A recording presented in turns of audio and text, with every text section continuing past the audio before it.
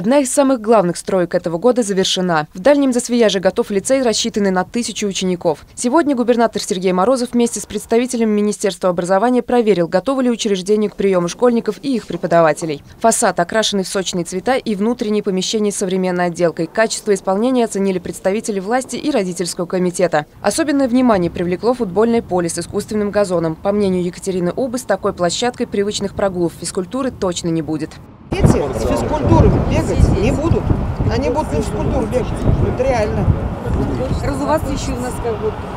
Основные работы сделаны, осталось только прибраться и довести до ума некоторые помещения. Лицей распахнет двери для учеников и учителей в октябре этого года. 39 классов уже укомплектованы. Пока что будущие лицеисты обучаются в других школах за Свияжья. Мы за неделю практически сделали невозможное. Мы собрали коллектив из 1073 человек с 1 по 10 класс, э, я имею в виду ребят. Да? И сейчас мы размещаемся э, в четырех образовательных организациях близлежащих.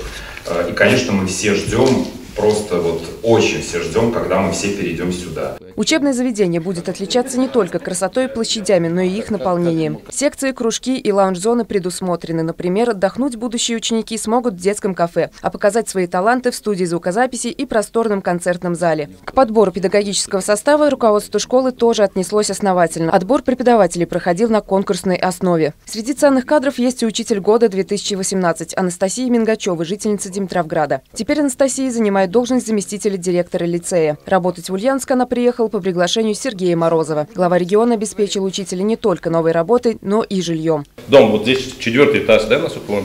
53 квадратных метра, двухкомнатная квартира. Спасибо. Поздравляю.